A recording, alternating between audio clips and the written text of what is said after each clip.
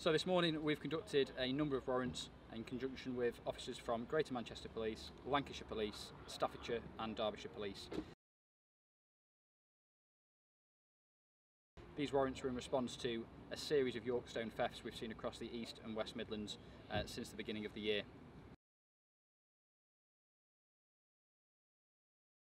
We're committed to working with other agencies to soften our borders and make Cheshire a hostile environment for criminals to operate within.